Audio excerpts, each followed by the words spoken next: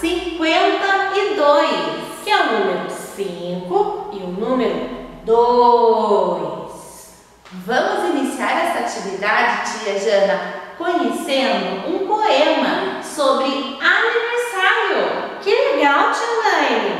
Vamos lá, turminha! Meu aniversário. Hoje é meu aniversário.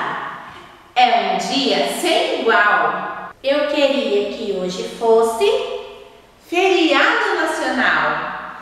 Que legal esse poema, tia Laine. Sim, tia Jana, este poema é de Pedro Bandeira. E ele nasceu em Santos no ano de 1942.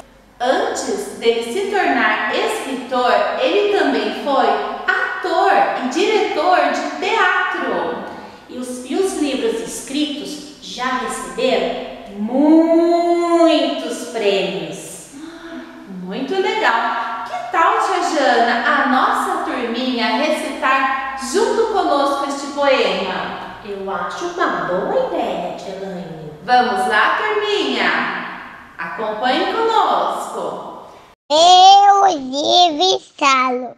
Hoje, meu aniversário. É o dia que eu gosto.